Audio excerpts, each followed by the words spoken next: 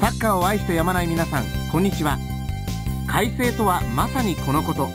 素晴らしい青空がスタジアムの上空。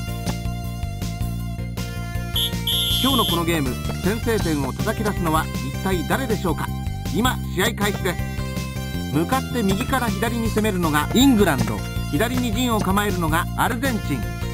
早野さんこの試合注目すべき点はどこにありますか？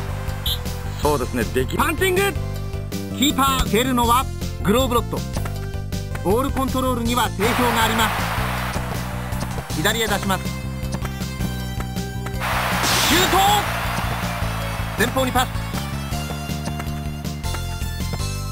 前に出します。8番。ドリブルで切り込みます。ドリブルで攻め込みます。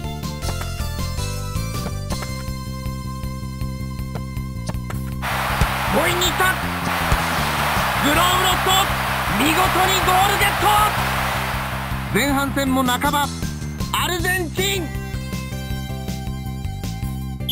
試合再開です。さあドリブルで上がっていく。ドリブルで持ち込みます。オフサイドです。選手が完全に戻りきりませんでしたね。完全なオフサイドです。このフリーキックからチャンスを作り出すことができるのでしょうか？前へ。見事に通りました。ここでサイドにボールを振ります。外への展開はサッカーの基本ですからね。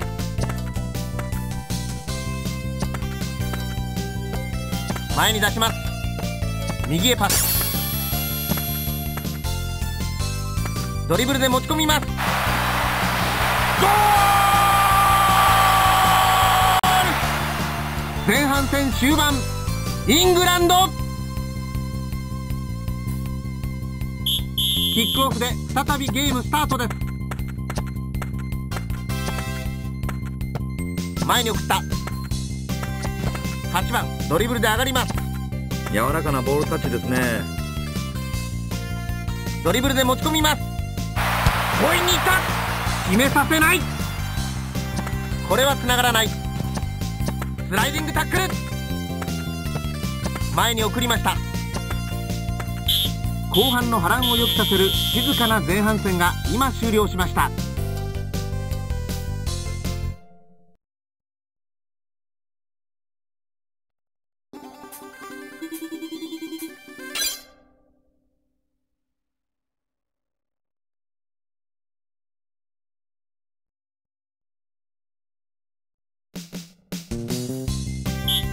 ボールを蹴り出し今後半戦が始まりました。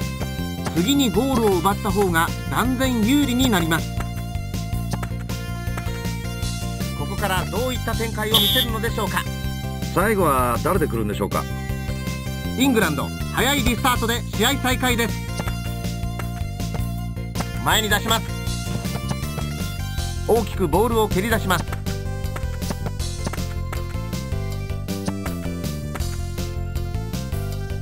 さあ自ら攻め込みます。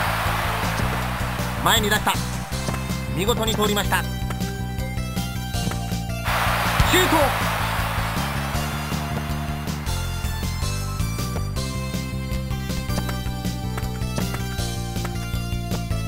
ト。ゴール前に蹴り込んだ。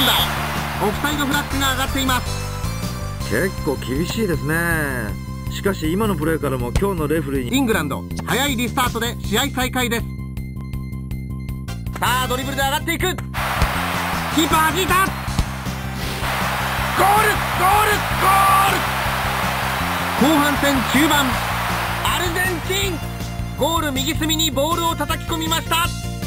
角度を変えてもう一度です。ナイスゴールです。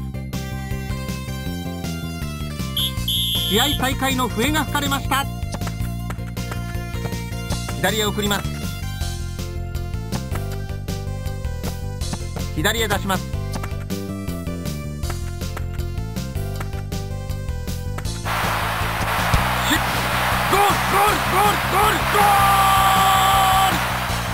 後半戦中盤アルゼンチンゴール左隅にボールを叩き込みました違う角度から今のプレーを見てみましょう早野さんに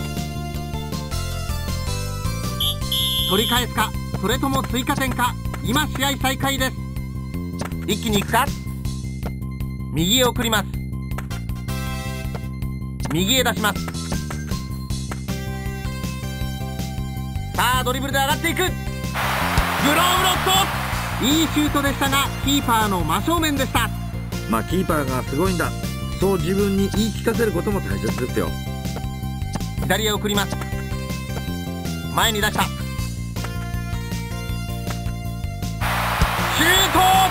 決めさせない。キーパーキャッチ。よく止めました。キーパーのナイスセーブにはゴール1点分以上のここで長い笛。試合終了です。3対1アルゼンチン。苦しみながらの勝利です。